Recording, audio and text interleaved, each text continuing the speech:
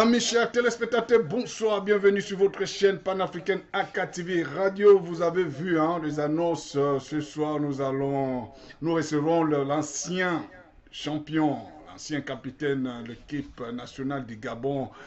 À l'époque, c'était Azingo. Là, on appelle le panthère du Gabon. Monsieur Guy Roger Nzamba. Quand tu prononces son nom, ça, ça donne des frissons parce que cet homme a- donné, il a fait ce qu'il a pu faire. Nous allons poser des questions et je ne serai pas seul. euh, Celle qui va m'accompagner, vous le voyez déjà. Elle est là, Edna, qui est avec moi, notre euh, animatrice maison désormais. Edna, bonsoir. Bonsoir Papy Dev, comment vas-tu? J'espère que tu vas bien. Alors, on va commencer tout de suite par notre invité surprise. Alors, il a été une ancienne gloire du dans le football au Gabon. C'était le capitaine des Panthères et il a inspiré de nombreux jeunes Gabonais, non seulement sur le territoire national, mais aussi au-delà des frontières. Alors, en bref, qui est Roger, Guy Roger Nzamba?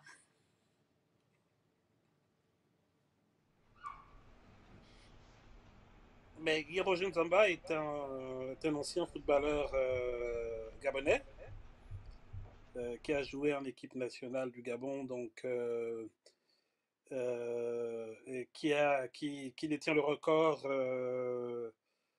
de meilleur buteur de, de l'histoire du football gabonais, avec 35 buts en équipe nationale,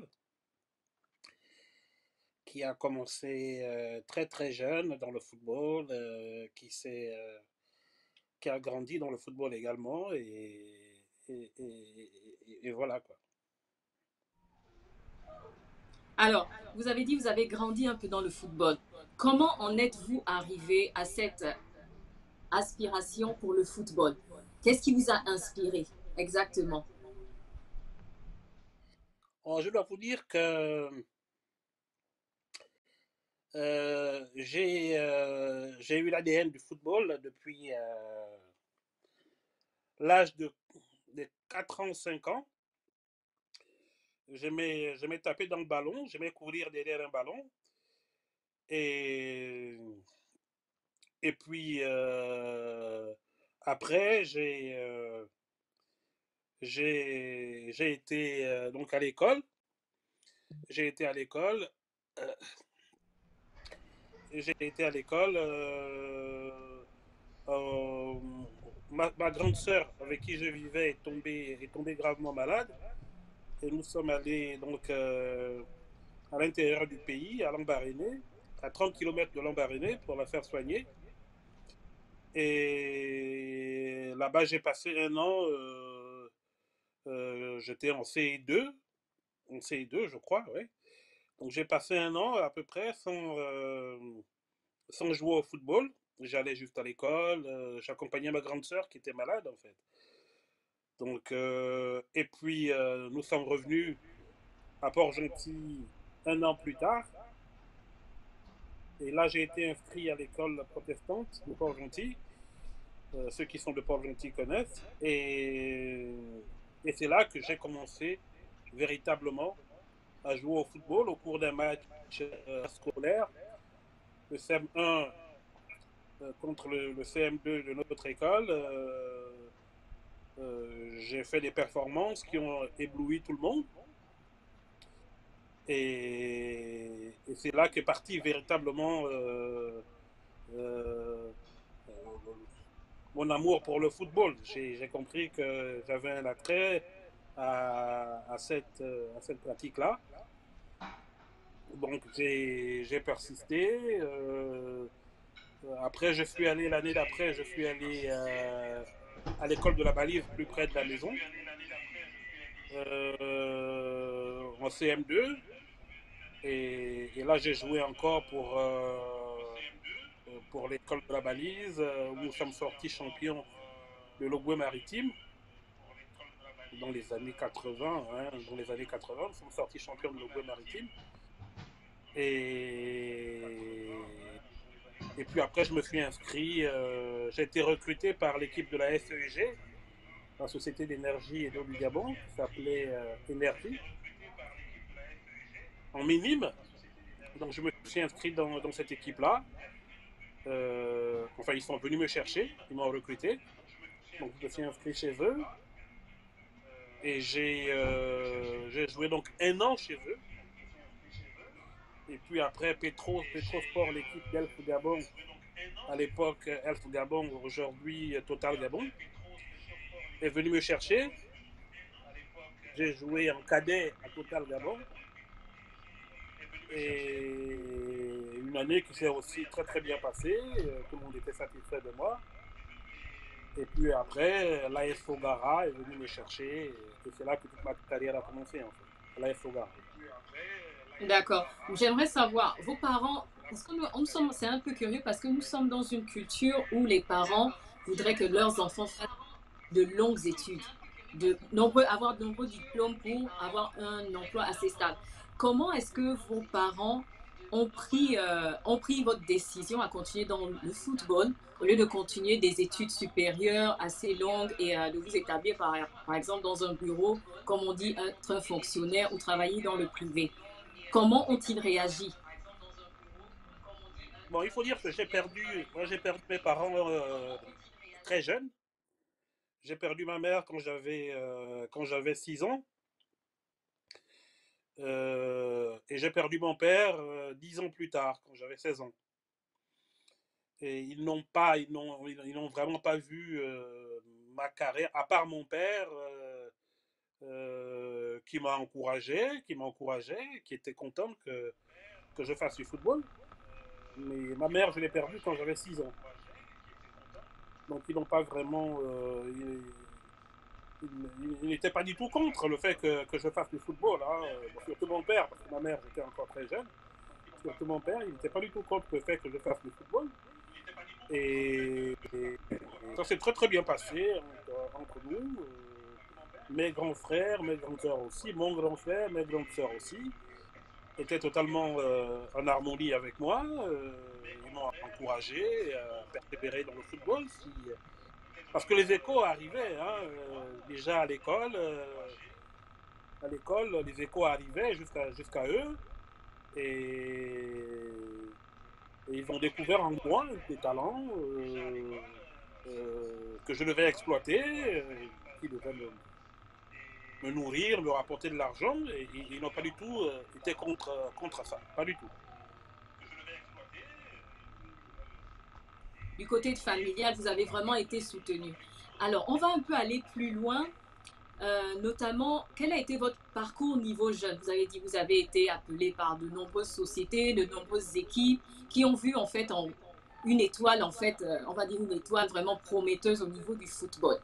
Comment est-ce que vous avez intégré le championnat d'élite au Gabon? Et quel a plus ou moins été l'élément précurseur pour votre coach, dont vous nous parlerez peut-être un peu euh, plus amplement dans quelques minutes, euh, pour vous propulser en fait dans votre carrière au, niveau supérieur? Ouais, comme je vous disais, j'étais euh, donc j'ai commencé à Énergie à Sport, l'équipe de la SEG, la Société d'énergie de Lugabon.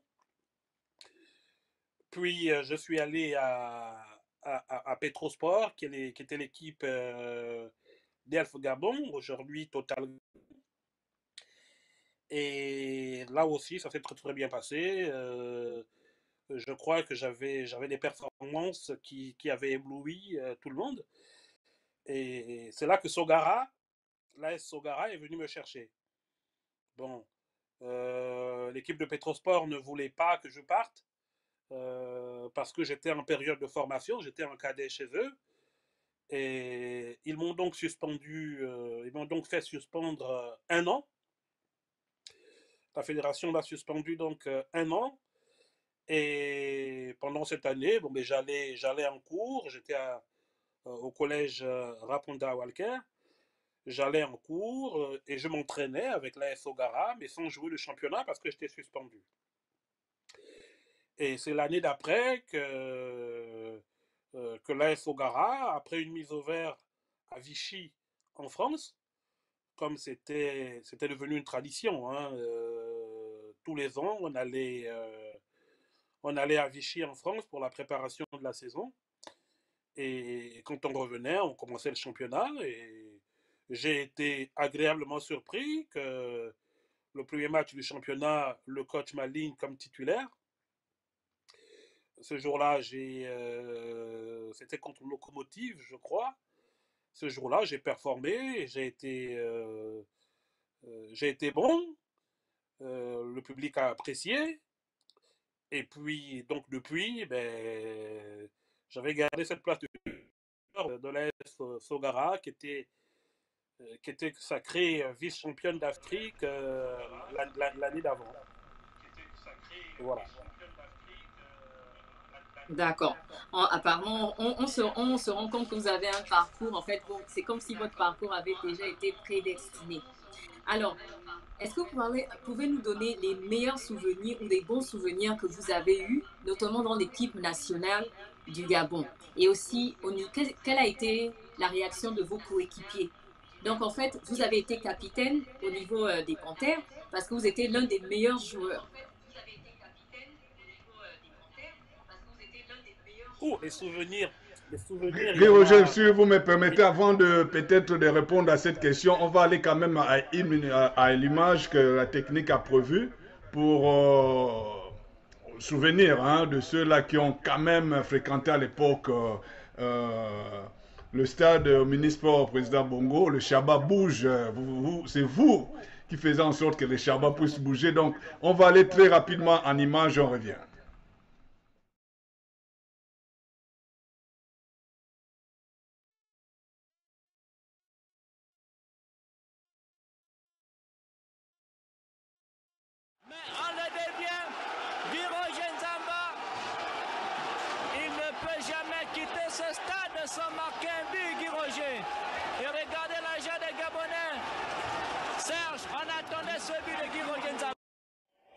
Convaincant en effet les Diables Rouges hier face à des Gabonais qui leur ont inscrit un but à la 38e minute par Makaya.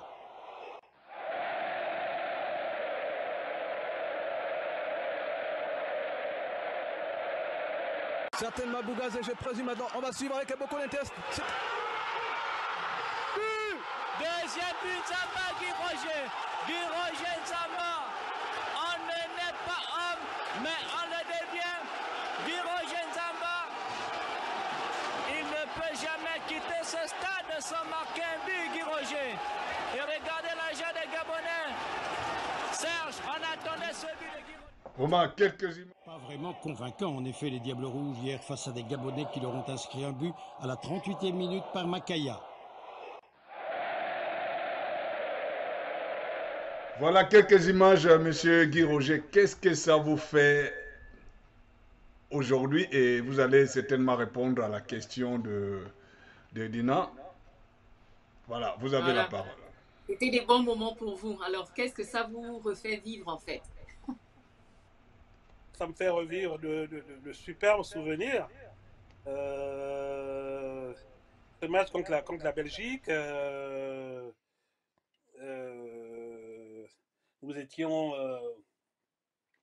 moi, j'étais déjà en France, je jouais déjà en France. Et euh, on a joué contre la Belgique. Et puis euh, là, sur le côté, donc c'est moi qui fais le centre à Brice, euh, Brice Makaya, qui, marque de la tête. Et vraiment, c'est de superbes souvenirs. Hein. Ce sont vraiment de superbes souvenirs. Comme la question que vous avez posée, Edna, c'est quels sont les souvenirs que j'ai, moi, de, de, l'équipe nationale Bon, il y en a, beaucoup, hein, mais je vais essayer de les sélectionner. Je me souviens qu'au Bénin, euh, nous jouions pour la qualification en Coupe d'Afrique des Nations. La première Coupe d'Afrique des Nations euh, que le Gabon, auquel le Gabon avait participé. Euh, donc nous jouions et il fallait absolument qu'on gagne au Bénin pour conforter notre place devant le Cameroun qui était euh, qui était juste derrière nous. Nous étions premiers du groupe, le Cameroun était deuxième, et il fallait gagner au Bénin, parce que le Cameroun jouait à domicile. Et il fallait donc gagner au Bénin pour, euh, pour conforter notre place. Et je me souviens que, euh, que les, les, Béninois ont marqué en premier. Donc on était mené 1, 1 à 0. Et puis j'ai marqué deux buts qui, nous ont donné la victoire au, Bénin. C'est un souvenir qui me reste à jamais gravé. mais aussi euh, au Niger où j'avais marqué trois buts. Euh, on avait gagné 3 à 1. J'avais marqué trois buts. Euh, c'est des souvenirs qui sont inoubliables. C'est grand. D'accord. Est-ce qu'aujourd'hui, vous pouvez remercier les personnes qui vous ont soutenu tout au long de votre parcours? Oui, je, ben, je remercie déjà Roger Baltimore, qui était euh, un ancien joueur de Toulon, qui est venu jouer à l'AS Fogara. C'est lui qui m'a envoyé en France, à la. Et Je remercie également les dirigeants euh, aussi bien d'énergie, ceux de Petrosport, et surtout ceux de, de l'AS Fogara, notamment le président euh, euh, Jean-Claude Yénon, qui était comme un père pour moi, qui, m'ont accompagné euh, à la mort de mon père d'ailleurs. le directeur de la société Sogara, M. Sipami Aubert, était venu, était venu à la maison. Et je m'en souviens comme si c'était hier, ça m'avait vraiment ému. Donc je remercie tout- tout- toutes ces personnes et en équipe nationale. Je remercie tous mes coéquipiers. Brice Makaya, Albin Bourganze, euh, Pierre Obam, euh, François Amégas, Étienne Kassangoma, Régis Manon, euh, et, et bien d'autres, j'en passe. Tous ceux qui ont contribué à, à ma réussite quoi, en équipe nationale. Il y a quand même beaucoup, hein. Donc, Edna, avant de continuer, on a prévu quand même euh, le deux buts que Guy Roger Nzamba a marqué. Vous allez nous corriger si c'est vraiment les images que nous avons retrouvées là. Et très rapidement, c'était juste un petit extrait pour euh, compléter à ce que vous avez dit. Tout de suite.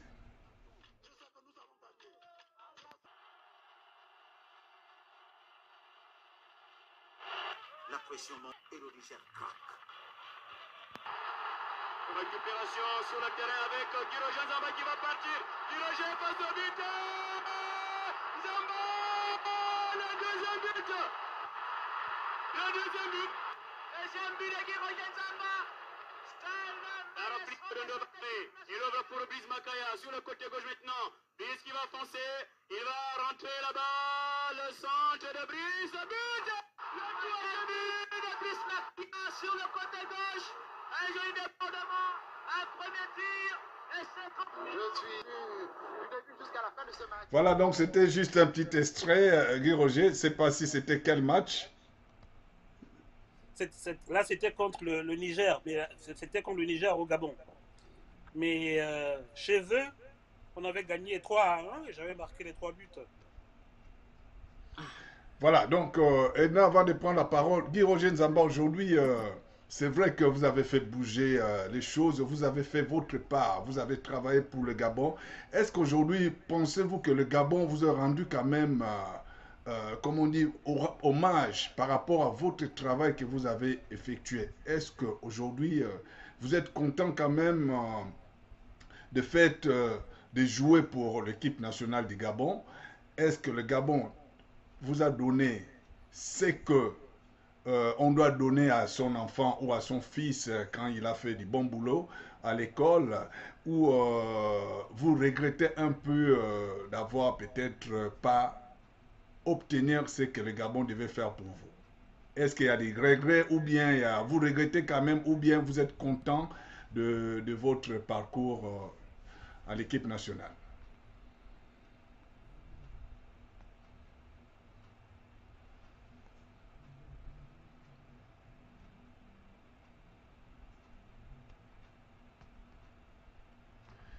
C'est vrai, non, certainement il va revenir. Donc, euh, quand c'est comme ça, il a reçu un pourrait- appel.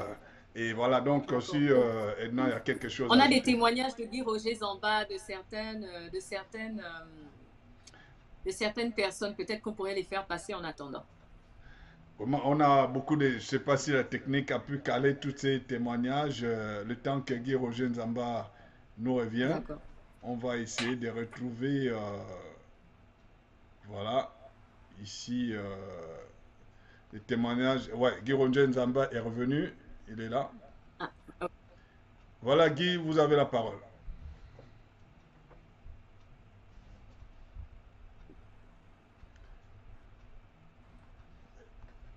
il y a un petit souci technique, hein, le temps qu'ils reviennent. Et on va aller euh, certainement suivre le témoignage de Didier Ovono. Non, c'est pas une bonne image de Didier Ovono. Donc, on va nous ramener. Et dans le temps d'essayer hein, de, de dire quelque chose d'autre, s'il y a des news hein, par rapport à la semaine prochaine, hein, des invités et tout, euh, le temps qu'on aille aux techniques chercher les images. Alors, nous allons recevoir la semaine prochaine euh, des entrepreneurs, des pâtissières et ah, nous avons Guy Roger Zamba. Nous revenons par la suite par, euh, pour vous donner des petites surprises pour la semaine prochaine. Alors, monsieur, monsieur Guy Roger est déjà là, hein. donc monsieur Guy Roger, vous avez la parole.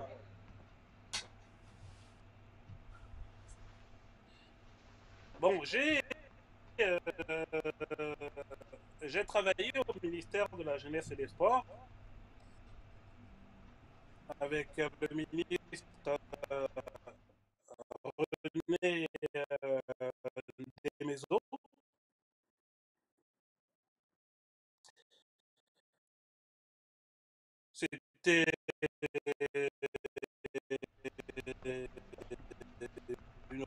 reconnaissance hein, de, de- de- de sa part.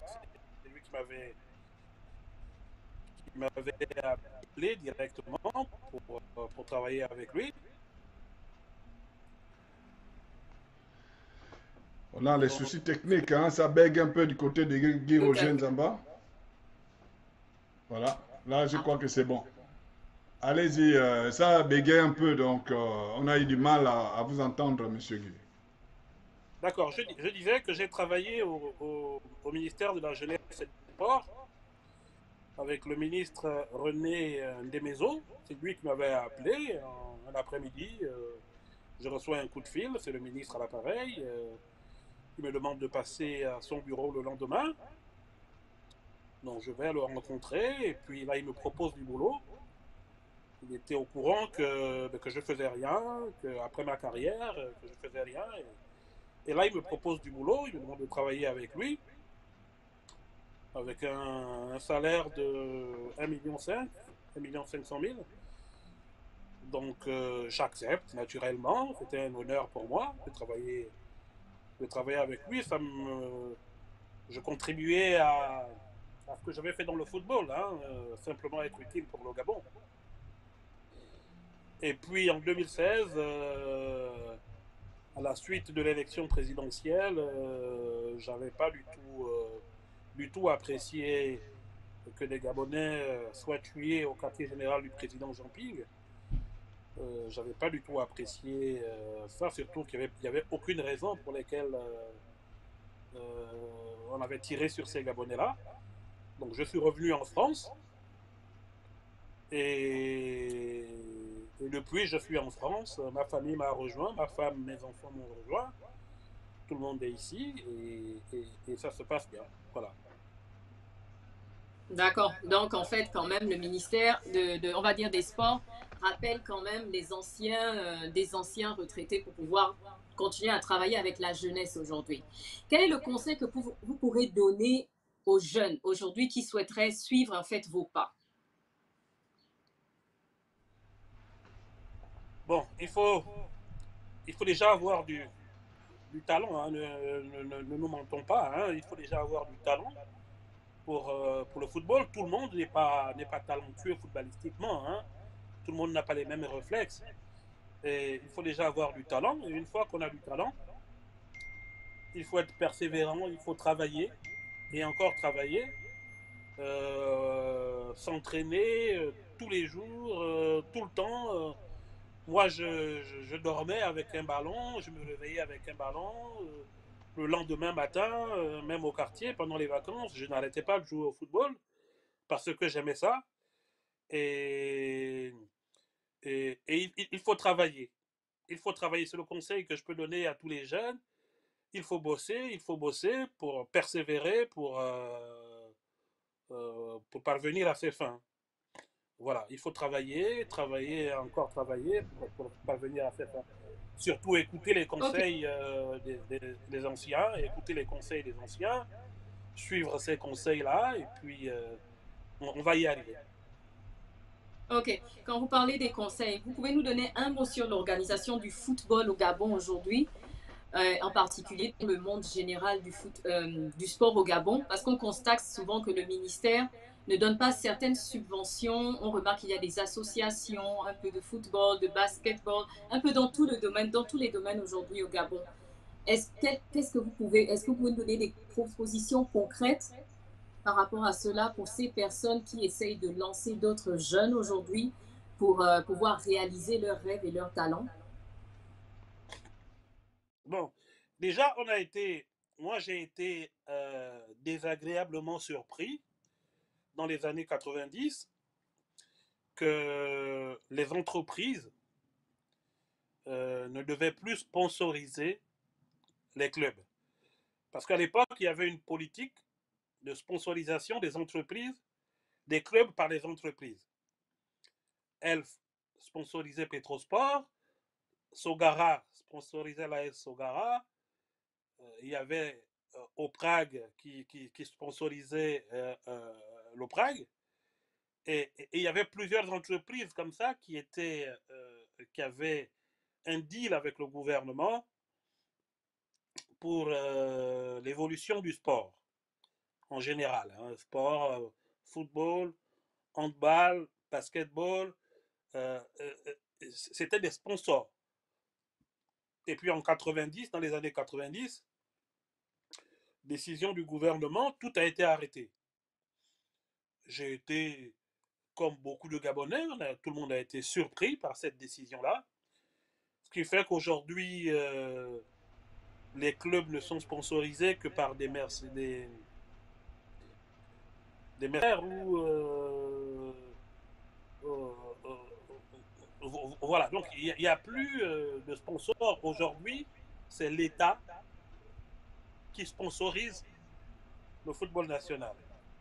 Mais l'État ne peut pas l'État ne peut pas sponsoriser le football national éternellement. On a vu des failles. Les joueurs sont payés par l'État. Ça devient donc presque des fonctionnaires. Et moi, je suis partant pour une politique à l'ancienne, c'est-à-dire la politique où, les, où on fait venir les entreprises et puis euh, on leur accorde euh, euh, un traitement particulier sur, sur leurs impôts.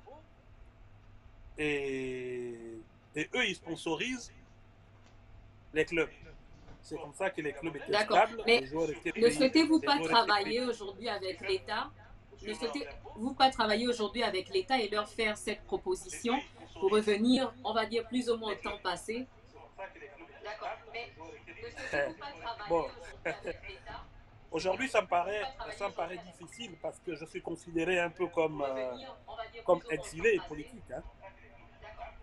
Je suis considéré un tout petit peu comme exilé politique, donc euh, ça me paraît, ça me paraît un peu difficile de, euh, de m'entretenir avec l'État. Mais j'avais eu un échange avec euh, l'ancien ministre des Sports, M. Otunga. On avait eu un message, euh, euh, un, échange par message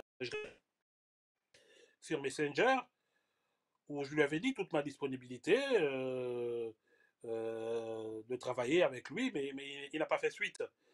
Donc, euh, je suis resté dans mon coin et, et voilà. Si, si, j'aimerais beaucoup travailler avec l'État, j'aimerais beaucoup travailler euh, dans le, avec le ministère pour euh, imaginer cette politique-là ou, ou, ou d'autres politiques sportives.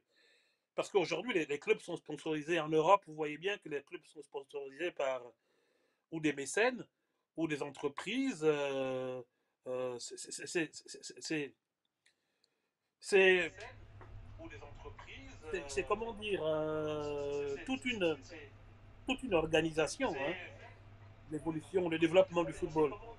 Vous voyez en Europe comment ça se passe? C'est toute une organisation. Les clubs sont des entreprises de véritables entreprises et et, et- et- qui fonctionnent comme des entreprises. Avec des salariés dans l'administration des salariés comme joueurs ou joueuses. C'est une vraie euh, organisation. Or, au Gabon, aujourd'hui, nous sommes, euh, sommes revenus à des niveaux euh, un, peu dans le passé, hein, euh, où, où le sport était considéré comme juste un loisir. Je pense qu'il faut dans cet état d'esprit-là. C'est pas très professionnel. or, avant les années 90, dans les années 80, on avait atteint. C'est pas très professionnel. Or, dans les, avant les années 90, dans les années 80, on avait atteint. Bon, je pense qu'on a perdu notre invité. ah, qui retour. était, euh, qui, qui était à, à, à- à envier. Au Gabon, nous avions des joueurs qui jouaient pour l'équipe nationale dans les années 80. Nous avions des joueurs qui jouaient pour l'équipe nationale du Ghana, qui jouaient pour l'équipe nationale de Côte d'Ivoire, qui jouaient pour l'équipe nationale du Congo. Et, parce que la politique nationale était, forte. Et, le championnat, donc for- forcément, était très fort. Nous avions un niveau de performance qui est bien au-delà du niveau d'aujourd'hui. Et je pense que tout est à refaire au Gabon et il faut une nouvelle politique, il faut instaurer une nouvelle politique sportive qui fasse que euh, le championnat reprenne ses droits, que le football reprenne ses droits et que, que nous progressions. D'accord, d'accord. Alors, nous avons une question joker qu'on a peut-être un peu oubliée au départ. Qui est Jean Petit?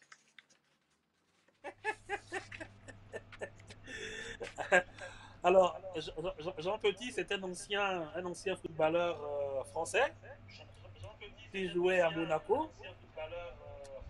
Et un cousin à moi, un grand cousin à moi, euh, quand euh, je devais avoir 8-9 ans, me voyant jouer, euh, euh, m'a fait appeler, donc en référence l'ancien footballeur de Monaco, l'ancien capitaine de Monaco. M'a fait appeler Jean Petit, donc je, je m'appelle Jean Petit depuis l'âge de, de 9-10 ans à peu près. Et voilà, c'est moi, c'est moi, Jean Petit. D'accord, encore nous remercions pour ça. Mais ce qu'on retient, ce serait vraiment, comme vous avez dit, faites des propositions au niveau du ministère. Je pense que le Gabon aujourd'hui est ouvert à toutes les propositions, toutes les nouveautés qui pourraient venir, non seulement de l'extérieur, pour améliorer toute, ce, toute cette, euh, toutes, ces, euh, toutes ces choses, pour, surtout pour le Gabon, notamment au niveau du sport. Alors, une dernière question avant de laisser la place aux auditeurs. Est-ce que le Gabon a-t-il des chances pour se qualifier à la Cannes 2024 en Côte d'Ivoire? Que pensez-vous? Bien. Euh, euh, je pense que les chances sont réduites. hein. Je pense que les, chances sont, réduites, mais ça ne veut pas dire qu'il faut être fataliste. hein. On peut très bien nous qualifier, mais euh, ça fait plusieurs années que nous participions régulièrement, que nous participons après nous, après notre génération. Ça fait plusieurs années que le Gabon participe euh, régulièrement euh, à des, à- des Coupes d'Afrique. Et cette année, euh,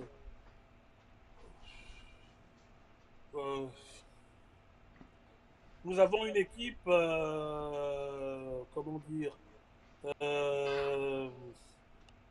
euh, comment décrire ça? Je pense que nous avons une équipe qui, euh, qui a en son sein qui détient en son sein des joueurs de qualité, des individualités de qualité. Ce qu'il faut, c'est mettre une, une âme à cette équipe-là. Faire en sorte que l'équipe ne soit pas trop individualiste, parce que là, on, on compte sur Pierre-Emerick, Aubameyang, on compte sur euh, euh, un tel, on compte sur un, un tel, mais il, faut donner une âme à cette équipe-là. Et je pense que nous avons toutes les chances de, euh, nous qualifier. Oui, je pense que nous avons toutes les chances de nous qualifier pour la Côte d'Ivoire. Après, il faudra que les joueurs se dépassent sur le terrain, il faudra se battre pour, euh, pour, pour- y arriver. Mais je pense que nous avons, nous avons des chances de nous qualifier. Nous avons une équipe avec des joueurs de qualité euh, qui jouent dans les championnats, dans les championnats professionnels de haut niveau. Et je pense que nous avons une chance pour nous qualifier. Oui, je pense. D'accord, donc on espère vous voir en Côte d'Ivoire l'année prochaine pour soutenir notre équipe. J'espère. J'espère. J'ai un frère qui, qui m'a appelé la semaine dernière et qui, qui me l'a proposé. Euh, qui m'a proposé, sa femme est ivoirienne, donc il sera, et qui m'a proposé euh, donc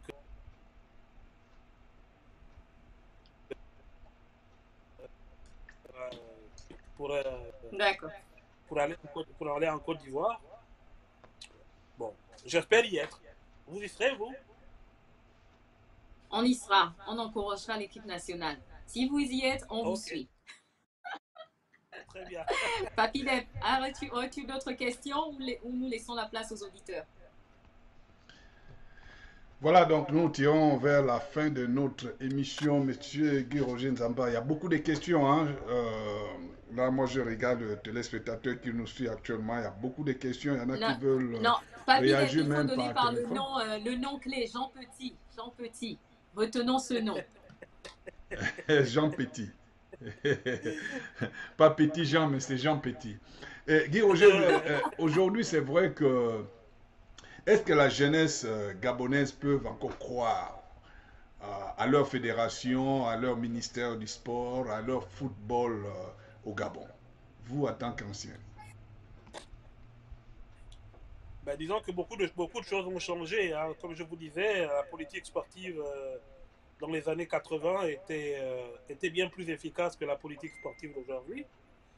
Et je ne sais pas pourquoi nous n'avons pas continué dans cette politique-là. Je ne sais pas pourquoi, pourquoi dans les années 90, euh, tout s'est arrêté. Mais ça a créé un flou sur la, sur la destinée de- du football gabonais. Mais euh, euh, ce sont les politiques sportives qui, régissent euh, le fonctionnement du, sport national. Donc, une fois que nous aurons un ministre qui, qui va tenir compte véritablement d'une véritable politique sportive efficace, par exemple celle qu'a été dans les années 80, où nous avions atteint des niveaux. Sogara a été vice-champion d'Afrique. À chaque fois que nous allions en Coupe d'Afrique, euh, nous ne nous arrêtons pas avant les quarts de finale.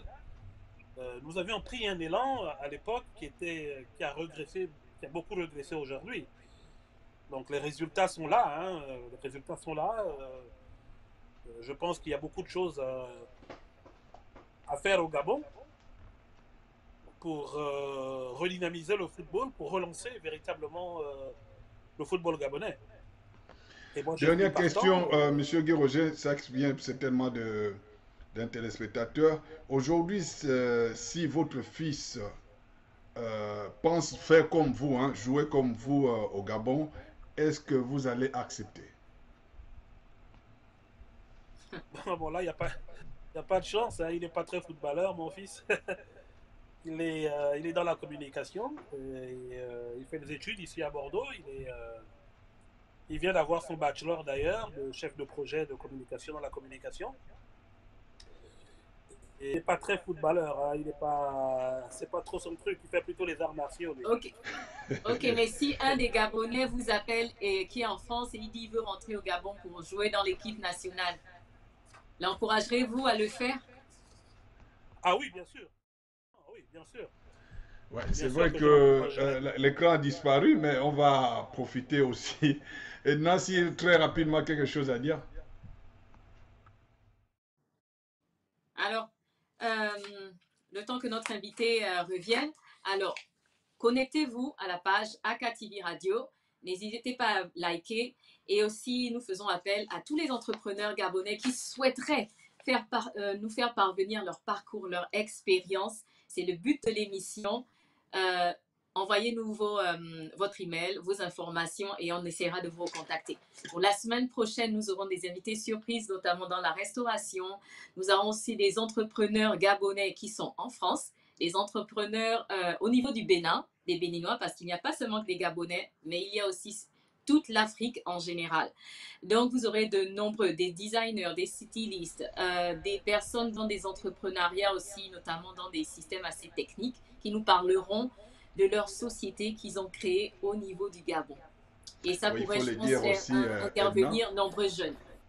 Voilà, il faut le dire que nous sommes au niveau panafricain. Hein. Euh, le AKTV Radio Tout est basé fait. dans 16 pays africains, dont nous, nous avons des correspondants qui prennent les relais pour, euh, pour faire parvenir ou euh, publier tout ce que nous faisons. Donc, euh, vous soyez au Bénin, en Côte d'Ivoire, au Sénégal, euh, vous pouvez aussi contacter AKTV Radio pour essayer de faire connaître ce que vous savez faire.